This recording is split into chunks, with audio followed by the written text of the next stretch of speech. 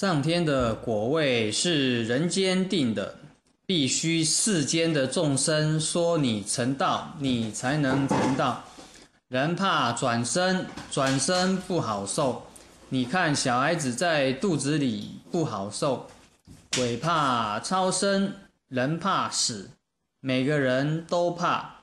可是圣贤仙佛不怕死。带着身体这臭皮囊，不是累赘吗？累也不好，不睡觉也不行，不吃饭也不行，带着活受罪，你们说不是吗？脱了壳不就省事了吗？